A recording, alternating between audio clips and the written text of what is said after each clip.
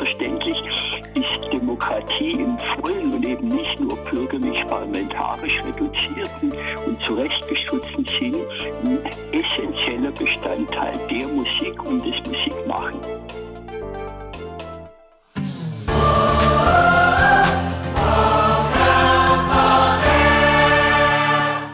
Hallo, ich bin Monika Müller und ihr hört Vocals on Air, euren Podcast rund um die Chor- und Vokalszene. Hier sprechen wir mit MusikerInnen, KünstlerInnen, Chören und auch WissenschaftlerInnen darüber, was sie bewegt. In der letzten Folge haben wir darüber gesprochen, was Demokratie genau bedeutet, gerade auch für Chöre. Gleichberechtigung, Mitbestimmung und auch Teilhabe waren hier sehr große Stichpunkte. Aber was bedeutet Demokratie in der Musik selbst? Gibt es denn besonders demokratische Musik oder besonders musikalische Formen der Demokratie? Darüber spreche ich heute mit Professor Dr. Hans-Werner Heister. Er ist Wissenschaftler mit Schwerpunkt Musik, war unter anderem Professor in Dresden für Musikgeschichte und Musikkommunikation und auch Professor in Hamburg für Musikwissenschaft. Ähm, sein Forschungsschwerpunkt ist eigentlich so ziemlich alles, was irgendwie mit Musik zu tun haben könnte und eben auch Musik und Politik. Hallo, Herr Heister. Ja, ich grüße. Am Anfang von dem Interview gibt es bei uns immer einen Entweder-Oder-Fragen-Block. Und da würde ich Sie bitten, einfach kurz zu antworten, was Ihnen besser gefallen würde oder was Ihnen mehr liegt. Also ja. die erste Frage an Sie. Eher U-Musik oder eher E-Musik? Das kommt darauf an, für welche Zwecke und in welchen Kontexten.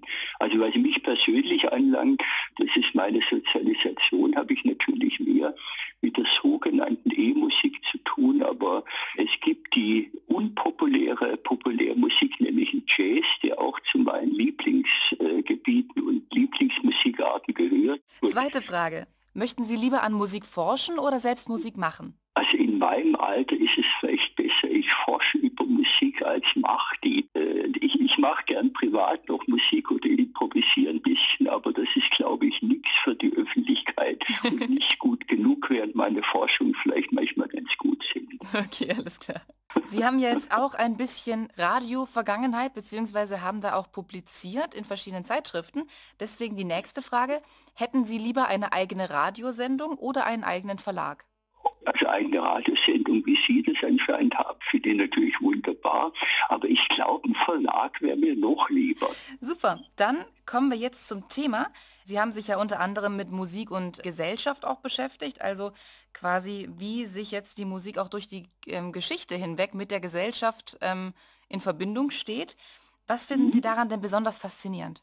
Faszinierend dran ist vor allem, dass Musik letzten Endes nur dann wirklich verstanden werden kann, wenn wir ihre gesellschaftliche Einbettung berücksichtigen, die auf zweierlei Weise sich vollzieht. Das eine ist, wie Gesellschaft in die Musik eingeht, also wie Prozesse wiedergespiegelt oder dargestellt werden. Das zweite ist, wie Musik wieder in die Gesellschaft eingeht, und dort ja auch entsteht. Also Kopulierende sind auch Menschen, um das banal zu sagen.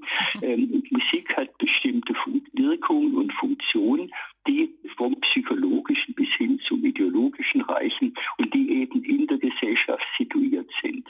Also insofern fasziniert mich das Gesamt von Bedingungsgefügen, um die Musik als Gesamt und Ganzes richtig zu verstehen. Vor dem Interview jetzt hatten Sie schon angemerkt gehabt, dass gerade die 1848er Revolution und der Vormärz da ja auch gerade musikalisch gesehen recht interessant sind. Und darauf möchte ich jetzt als erstes mit Ihnen eingehen. Das war ja einer der ersten der Ansätze einer Demokratie, jetzt in Deutschland zumindest, als etwas verspätete Folge der Französischen Revolution, könnte man sagen. Wie hat die Musik denn da der Demokratie und der Revolution so ein bisschen geholfen? Gute Frage. Also da gibt es zweierlei. Seit 1830, da war, wie Sie richtig sagen, die französische Julirevolution, die auch nach Deutschland ausgestrahlt hat. Und es gab eine Menge von politischen Liedern, vor allem satirische Lieder, die die damalige eben noch feudale Obrigkeit angegriffen haben. Bei Schumann kommt mehrfach, etwa im Faschingsschwank aus Wien, die Marseillaise, ja immer ein Revolutionslied gewesen ist, kommt vor, wird zitiert, manchmal verdeckt als Walzer, wie im, wie im Faschingsschwank, manchmal wie in Zwei Grenadiere in dem Lied, offen, also als Melodie. Dann gab es natürlich in der 48-Revolution selber eine ganze Menge neu entstandener Lieder, äh, unter anderem das auch ein sehr, sehr bewegendes Lied, das Robert Blum-Lied. Äh, dann, wie gesagt, der ganze Weg bis hin 70, 71 und Reichseinigung. Und auch da, in der Zeit, gab es ja immer wieder politische Lieder, jetzt vor allem von sozial, also damals sozialdemokratischer oder sozialistischer Seite, das war noch nicht richtig unterschieden, etwa Sozialistenmarsch oder diese berühmte Herweg, alle Räder stehen still, wenn dein starker Arm es will, wird ja heute noch gelegentlich zitiert, zum Beispiel beim GDL-Streik. Also das sind alles Lieder aus der Zeit und es gab für unseren Bereich eine ganze Menge von Musik gegen den Krieg, für den Frieden, für eine erweiterte Demokratie. Also die entscheidenden Komponisten sind Kurt Weil, Heinz Eisler, ähm, vielleicht die beiden als, als wichtigste. Jetzt äh, über die Weimarer Republik hinaus, ähm, gerade bei den Wahlen finde ich sehr, sehr spannend, dass da eben auch dann sehr viele Protestlieder waren oder Spottlieder. Ähm, da sieht man wieder, wie die Musik dann bei allem sich tatsächlich über alles lustig machen kann.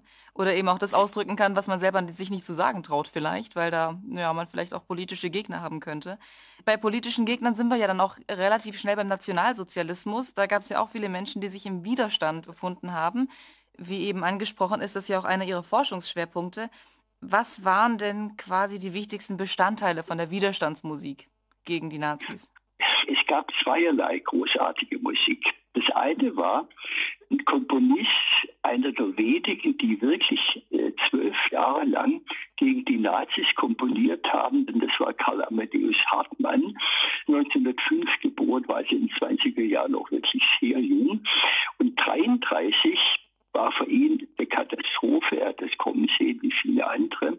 Aber er hat dadurch zu seiner eigenen Musiksprache gefunden. In Simplicissimus verarbeitet er so alles, was musiksprachlich möglich ist. Bachchoral, jüdisches Lied, dann neobarocke Elemente, Sachen von Prokofjew, Anspielungen auf Stravinsky und Hindemith und so weiter. Also eine sehr moderne, ähm, heterogene, aber durch den einheitlichen Ton und die Zielrichtung, Klage und Anlage doch sehr zusammengehaltene Musik wird immer mal wieder aufgeführt. Der zweite Schrank ist die Musik, die in den KZs entstanden ist.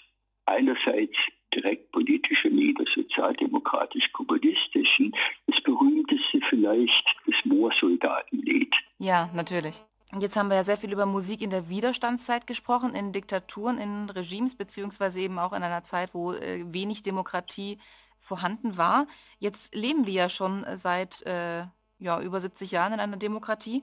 Da ist die Frage, ist Demokratie denn heute auch noch ein wichtiger Bestandteil in der Musik?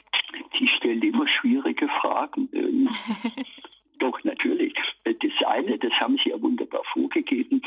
Selbstverständlich ist Demokratie im vollen und eben nicht nur bürgerlich-parlamentarisch reduzierten und zurechtgestutzten Sinn essentieller Bestandteil der Musik und des Musikmachen. Das Zweite ist weniger klar zu beantworten. Also erstens gab es eine Tradition nach 45 von Musik, die, in der sich die Komponierenden dezidiert für eine soziale, also Demokratie im sehr weiten und progressiven Sinne eingesetzt haben. Ich sage nur ein paar Namen, die alle kennen, die man aber vielleicht nicht vergessen sollte, nämlich Luigi Nono, mhm. ähm, Hans-Werner Henze, der zum Glück etwas länger gelebt hat und Hartmann hat weiter komponiert. Er hat seine Werke, die er damals in der Nazizeit für die Schublade schreiben musste, umgearbeitet und neu aufgeführt. Also auch da eindeutige Bekenntnisse zur fortschrittlichen und fortschreitenden Demokratie. Es wird dann um 68 rum, gibt es nochmal einen neuen Aufschwung jetzt sowohl bei den älteren äh, und dann jüngere Komponisten wie Gerhard Städtler, die eben im Zug dieser 68er Bewegung dann zu komponieren anfangen. Da gab es einiges. Ähm, es gab vor allem auch einen Aufschwung in der Populärmusik oder Popmusik meinetwegen. Ich bin immer etwas vorsichtig deswegen sagte ich, schwer zu beantworten, ob ein älterer Mensch dann bloß rumnölt und nicht so genau Bescheid weiß. Ähm, es ist aber definitiv wenige geworden. Die sind Präfer, die, die jüngeren Komponisten, soweit ich das weiß. Es gibt absolut aufmüpfige Komponierende, zum Beispiel im Rap.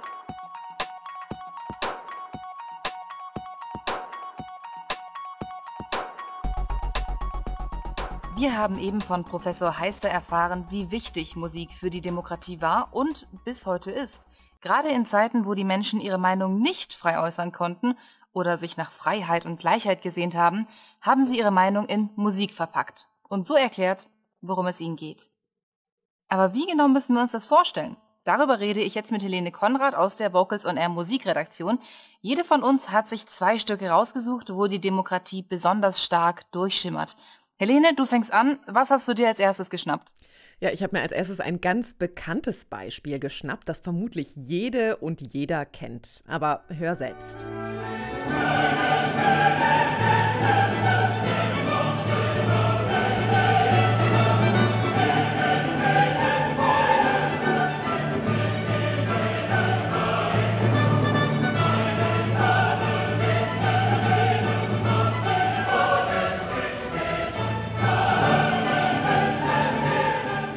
Freude schöner Götterfunken, Tochter aus Elysium, wir betreten feuertrunken himmlische dein Heiligtum. Deine Zauber binden wieder, was der Mode Schwert geteilt.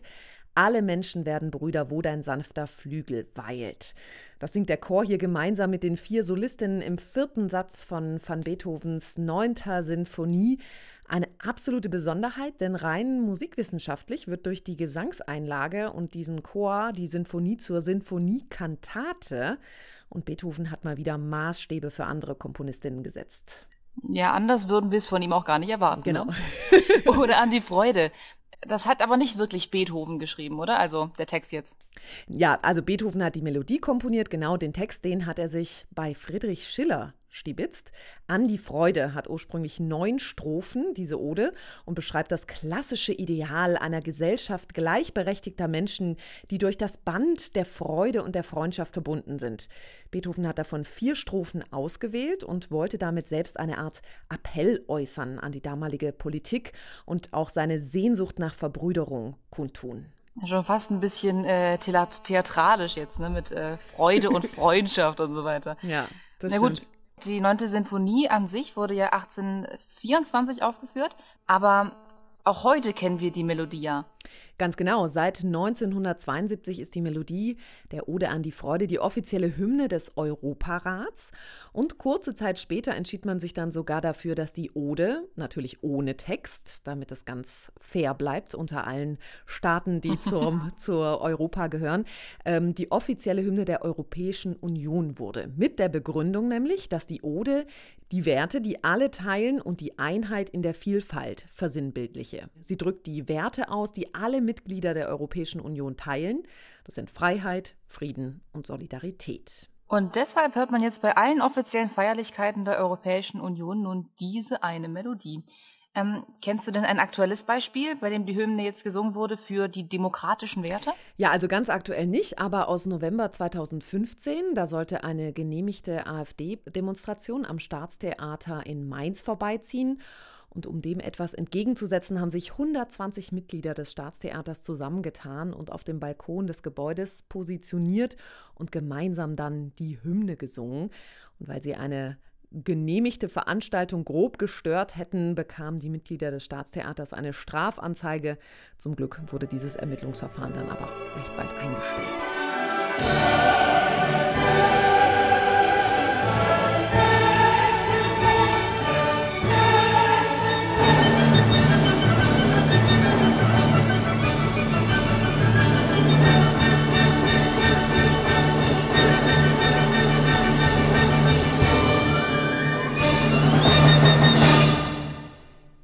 Denn bei dir aus, Monika? Welches Musikbeispiel ist dir zum Thema Musik in der Demokratie eingefallen? Also ich habe dann das gemacht, was ich immer tue, wenn ich äh, Fragen zur Musik ge gestellt bekomme. Ich habe erstmal meinen Vater gefragt, weil der ist Chorleiter, der kennt sich aus. Ähm, mhm. Und dem ist da sofort ein Lied eingefallen, ein ganz besonderes Lied. Ähm, das hat es sogar in ein paar Liederbücher geschafft. Das hat den wunderschönen Titel Oh hängt ihn auf. Mhm. Klingt schon erstmal ein bisschen makaber. Wenn man sich nur den Text anschaut, ist es ein Loblied. Aber wenn man die Musik dann dazu packt, dann kommt was ganz anderes raus. Ähm, hörst du einfach mal kurz an. Oh, hängt ihn auf, oh, hängt ihn auf, oh, hängt ihn auf, den Kranz von Lorbeeren, den edlen Fürst, den edlen Fürst, den edlen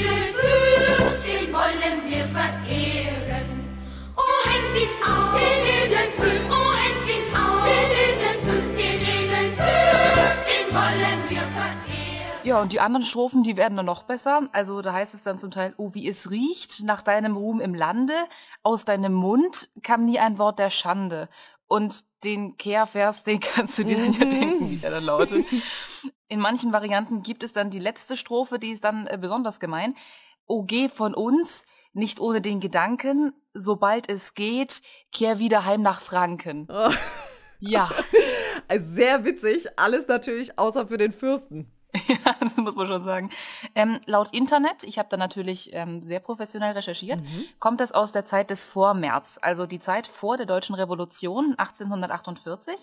Und in der Zeit gab es einige Versammlungen, wie beispielsweise auch das Hambacher Fest, was man damals in der Schule höchstwahrscheinlich mal durchgenommen hat. Ähm, einige Versammlungen gab es da, die man fast schon als Demos bezeichnen kann. Und ähm, sagen wir es mal freundlich, die Menschen waren eventuell nicht ganz so gut auf den Adel in den einzelnen mhm. Fürstentümern mhm. zu sprechen. Mhm. Und ich kann mir gut vorstellen, dass der, der Autor, die Autorin da etwas schlecht zu sprechen war auf genau einen dieser Fürsten. Der hat es vielleicht ein bisschen zu bunt getrieben. Und Wem genau die Komplimente gelten, weiß man heute nicht. Auch den Komponisten oder die Komponistin kennt heute leider niemand mehr. Aber lustig ist es trotzdem. Also ein echtes Aufstandslied, ja, wenn das nicht bekannt ist, wenn niemand weiß, wer der Verursacher ist. Wahrscheinlich könnte man einfach sagen, das Volk war es. Das wäre doch schön, ne? Ja. Also das Lied ist auch mittlerweile im Internet in einigen Volksliedarchiven zu finden. Also dieser Fürst ist mit seinem persönlichen Hasslied unsterblich geworden, kann man sagen. Du hast auch noch ein Aufstandslied dabei, nicht wahr? Ja, in der Tat. Stamattina mi sono alzato, oh bella ciao, bella ciao, bella ciao, ciao, ciao. Stamattina mi sono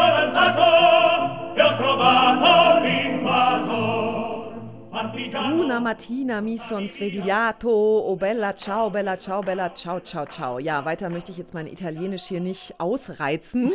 äh, was wir gehört haben, ist das Lied Bella Ciao. Und dabei geht es kurz zusammengefasst um den Partisanen, der sich von seiner Liebe verabschiedet und sich von ihr wünscht, dass an ihn gedacht wird, wenn er stirbt. Das Lied ist von einem unbekannten Autoren bzw. Komponisten geschrieben worden. Das kommt uns ja schon so ein bisschen bekannt vor jetzt, ne? Aber genau. das Lied hat ja auch eine recht lange Geschichte. Das gibt es ja schon mindestens ein Jahrhundert. Genau, also Anfang des 20. Jahrhunderts, da wurde es wohl zum ersten Mal gehört und zwar von oder gesungen von italienischen Reispflückerinnen, die so ein bisschen die schlechten Arbeitsbedingungen beklagt haben. Und richtig bekannt ist das Lied dann aber im Zweiten Weltkrieg geworden, denn es handelt von den vielen Widerstandskämpfern, die sich gegen den Faschismus aufgelehnt haben. Ja, dafür wird es wahrscheinlich heute auch immer noch stehen, oder? Ja, so ist es ganz genau. Der Mut der damals circa 200.000 kämpfenden Partisanen wird mit Bella Ciao auch heute noch gedacht. Und deshalb wird es auch heute noch gesungen, zum Beispiel eben auf Demos gegen Rechtspopulismus zum Beispiel. Aber ich kann mich auch daran erinnern, ich habe das vor ein paar Jahren erst im Radio gehört. Ja, richtig. du denkst an diesen Sommerhit 2018. Da haben tatsächlich El Professor und Ügel, ich weiß gar nicht, wie man es genau ausspricht, einen Riesenhit gelandet und Bella Ciao damit auch nochmal so ein bisschen ins Hier und Jetzt verfrachtet. Bekannt wurde es durch die Serie Haus des Geldes.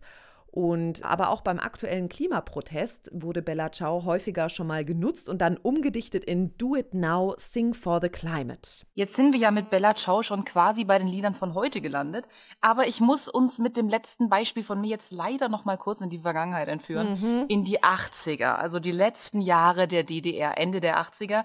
Da gab es nämlich einige, die für die deutsche Einheit komponiert haben, aber ohne dass sie es eigentlich wollten. Wie der hier.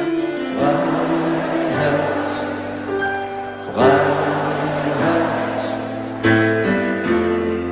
ist das Einzige, was zählt. So kommt jetzt.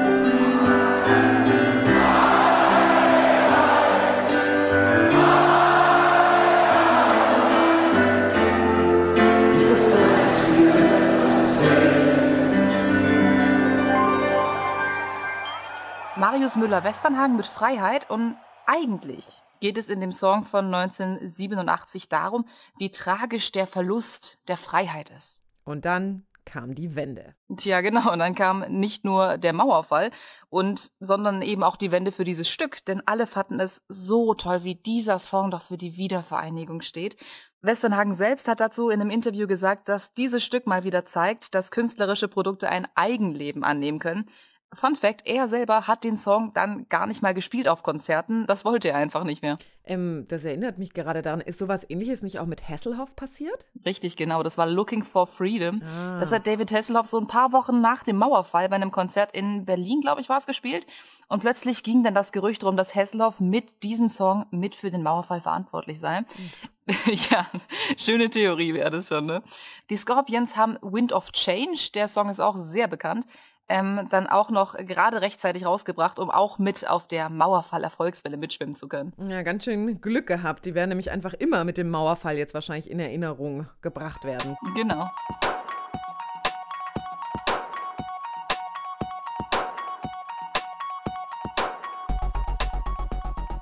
Ihr hört Vocals on Air, den Podcast für die Chor- und Vokalszene.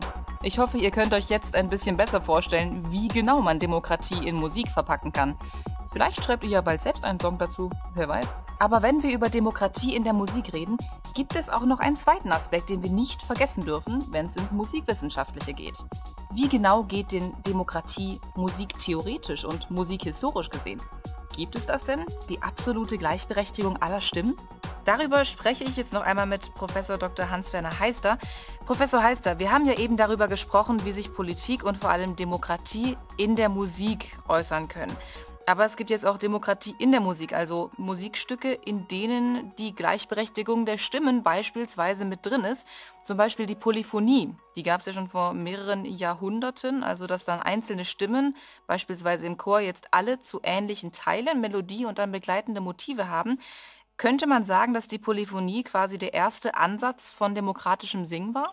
Ausnahmsweise, Frau Müller, muss ich Ihnen da aber in Ihrem Sinn widersprechen. Sie haben das äh, äh, glänzend ausgedacht. Es geht aber noch viel weiter. Ähm, das ist nicht erst die abendländische oder schwarzafrikanische Polyphonie, sondern ich würde sagen, in der Musik äh, grundsätzlich und von Anfang an, also etwa seit drei Millionen Jahren nebenbei bemerkt, äh, ist verankert, dass es eine Miteinander gibt, und zwar ein gleichberechtigtes Miteinander. Das ist der Trick der Musik, die es die so in anderen Künsten nicht gibt, durch die akustische Simultaneität, dass gleichzeitig sich der Einzelne, das Individuum und das Gesamt einer Gruppe im Musizieren vereinigen kann. Das geht also sehr weit zurück und kristallisiert sich dann in dem, was Sie mit Recht erwähnt haben, in Form wie der hochfeudalen Polyphonie, kristallisiert sich das dann in kunstvollerer Form. Das heißt, dort wird ganz heterogenes und verschiedenes auf eine gleichberechtigte Weise auf einen Nenner zu einer übergreifenden Einheit gebracht.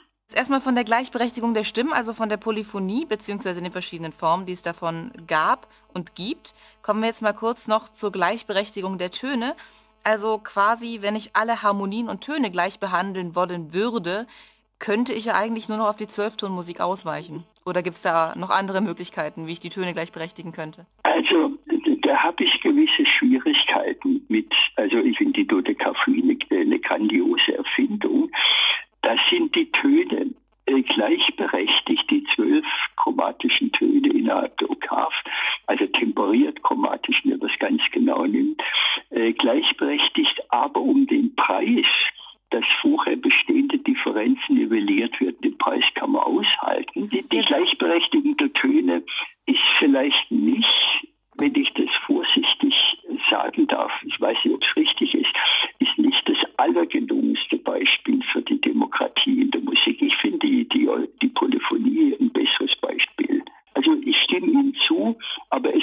meines Erachtens vielleicht noch ähm, schlüssigere Beispiele. Sie sagen schlüssigere Beispiele, da ja, kann ich Ihnen ein Stück weit zustimmen, auch vor allem deswegen, weil Zwölftonmusik ja dann doch für viele Ohren nicht ganz so einfach zu hören ist. Wäre denn Jazz beispielsweise eine Möglichkeit, wo man die Demokratie mit drin hat, aber dann ist es halt auch nicht ganz so extrem ist wie Zwölftonmusik beispielsweise? Also Jazz ist zweifellos ein gutes Beispiel für eine relativ Musik von Gleichberechtigten. Also, also da gibt es das ähnliche, ein gemeinschaftliches Spielen. Jeder und jede beteiligt sich an dem Resultat und zwar häufig mit extrem oder radikal individuellen und individualistischen Beiträgen. Trotzdem hört jede, hören alle aufeinander. Die spielen eben zwar drauf los, aber nicht nur drauf los, ohne Rücksicht auf Verluste, sondern guckt schon, was machen die anderen. Und es fügt sich dann immer wieder zu Flächen oder Abschnitten, wo dann alle auch näher beieinander sind.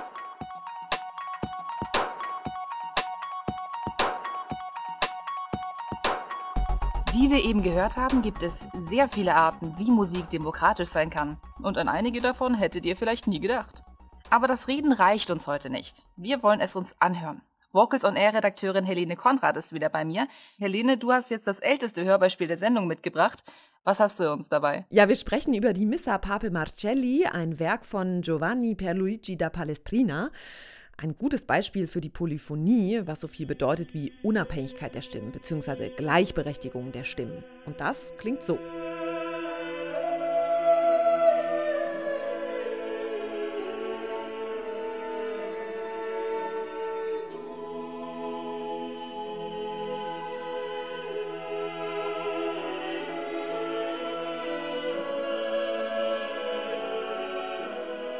Diese Musik stammt aus dem 15. bzw. 16. Jahrhundert, eine Zeit, in der die Polyphonie ihre Hochzeit hatte. Und der Kirchenmusiker Palestrina hat sie, wie das alle zur damaligen Zeit tun mussten, zu Ehren Gottes komponiert.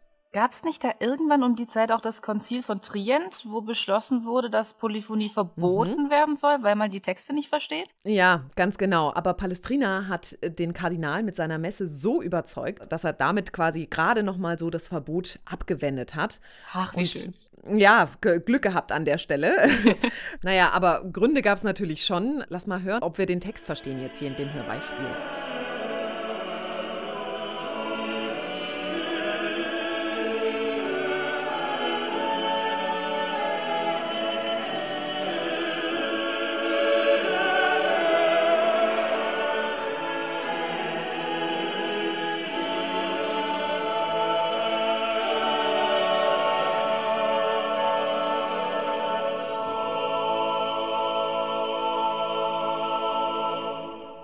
Ja gut, also ich verstehe, dass ich nichts verstehe, ähm, aber ich kann mir gut vorstellen, dass damals wahrscheinlich noch eh sehr wenige Leute Latein konnten, weswegen die Verständlichkeit sich sowieso erübrigt hat. Ganz genau. Aber es ist schon ein ganz gutes Beispiel dafür, dass Palestrina das auf jeden Fall nochmal sehr sauber gesetzt hat.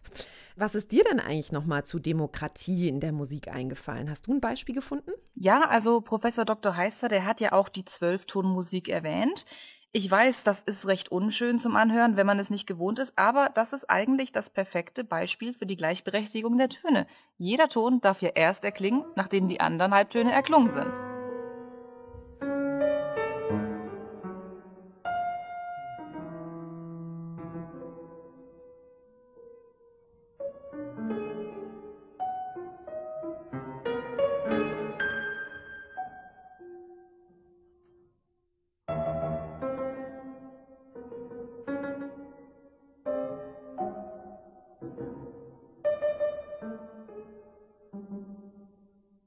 Das ist ein Ausschnitt aus dem Kinderstück von Anton Webern. Das ist einer der bekanntesten Komponisten der Zwölftonmusik oder Dodekaphonie, wenn man es professionell bezeichnen möchte.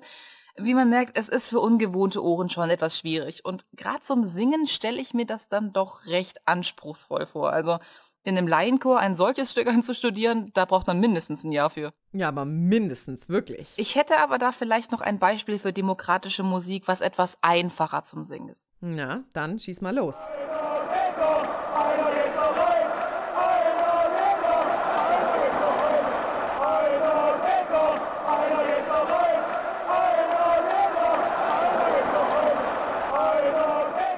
Ich gebe zu, das klingt jetzt etwas weniger kultiviert als Webern. Aber es ist sehr demokratisch, weil ja tatsächlich jede Stimme zählt. Ähm, ich selbst bin auch großer Fußballfan vom bekanntesten Club Deutschlands und es gibt nichts Tolleres, als wenn man im Stadion steht und die Fans rufen sich von der gegenüberliegenden Seite den Namen des Vereins gegenseitig zu und es halt dann so in diesem gesamten Stadion hin und her. Mhm. Das ist einfach unglaublich. Also je mehr Leute da auch mitmachen, desto toller wird's dann. Deswegen, wenn die Staaten wieder offen sind, wird's richtig unterhaltsam. Ähm, das ist eigentlich genau wie in der Demokratie. Ja, das passt ganz gut. Ich habe auch noch was dabei. Und zwar haben wir ja vorhin über Protestlieder gesprochen und das hier ist sowas ganz ähnliches. Atomwerk hier im Land, schließt euch fest zusammen, schließt euch fest zusammen, wehrt euch, leistet Widerstand gegen das Atomwerk hier im Land. Schließt euch fest zusammen. Anders als Schlachtrufe, bei denen ein Vorsänger oder eine Vorsängerin den Ton angibt und die Gruppe darauf antwortet, das gibt es ja auch, geht es jetzt bei diesen sogenannten Demonstrationsgesängen nicht darum, dass eine oder einer im Vordergrund zu hören ist. Ja, ist ja ganz im Gegenteil. Ist ja ähnlich wie bei den Fußballgesängen. Ne? Es geht ja einfach darum, dass alle gemeinsam eine Stimme haben. Ganz genau. Alle singen das Gleiche und damit signalisiert man ja irgendwie dann letztlich auch Einigkeit. Die Wirkung ist natürlich ganz klar, nicht nur für den Einzelnen, sondern auch für die Gruppe. Man ist nicht alleine und es wirkt einfach viel größer. Wir stellen fest, Demokratie kann also auch richtig laut sein. Danke, Helene.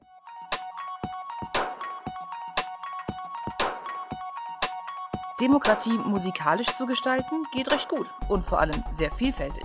Ich finde es sehr toll, dass die Menschen schon vor knapp 200 Jahren für ihre Rechte gesungen haben. Das zeigt wieder einmal, wie Musik das ausdrücken kann, für das uns oft einfach die Worte fehlen. Umgekehrt die Demokratie in die Musik zu tragen, ist musiktheoretisch gesehen zwar möglich, aber dann doch wesentlich schwieriger, wie wir gesehen haben. Aber trotzdem gibt es Möglichkeiten. Man kann ja beispielsweise auch im Chor versuchen, Stücke zu finden, wo nicht immer der Sopran die Melodie hat. So wäre dann auch ein demokratischeres Konzertprogramm möglich, auch ohne Zwölftonmusik. Wenn ihr wissen wollt, wie Demokratie im Chor funktionieren kann und was genau demokratisch bedeutet, dann hört auch gerne in die erste Folge dieser Staffel rein. Da hat uns unter anderem Marty Monti-Winter von seinem demokratischen Chor namens Curiosity in Ulm berichtet. Das war Vocals on Air, der Podcast. Diese und andere Folgen stehen natürlich zum Nachhören bereit unter vocalsonair.de und überall da, wo es Podcasts gibt. Ich bin Monika Müller und das war Vocals on Air. Tschüss, bis zum nächsten Mal. Vocals on Air, der Podcast.